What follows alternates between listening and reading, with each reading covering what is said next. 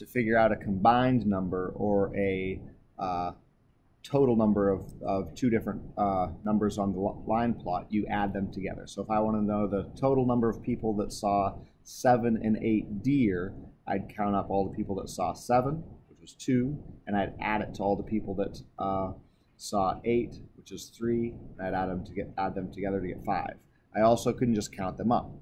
Uh, I can count up all the ones above seven and eight. One, two, three, four, five. So five people saw saw a combined uh, seven or eight deers. Deer.